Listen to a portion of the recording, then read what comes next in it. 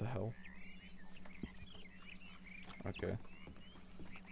So he's only got like 30 days left. He only oh, got Oh, that's 200 days.